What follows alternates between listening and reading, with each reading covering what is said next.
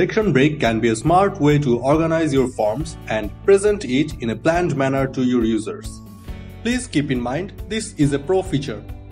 Purchase WP Fluent Form Pro add-on from the link provided in description to use this functionality.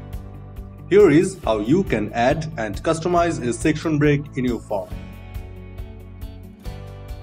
Drag and drop the section break button in your form editor from the Advanced Fields tab or you can just click on the button and a section break will be added below the last selected input field in the editor.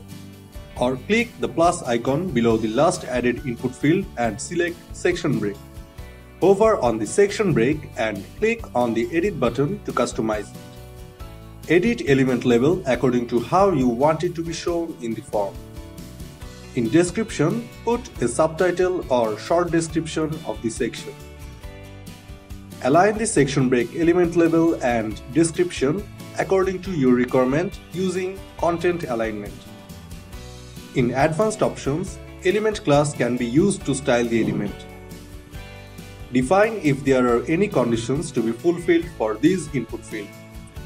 Learn more about conditional logics in the link given in description.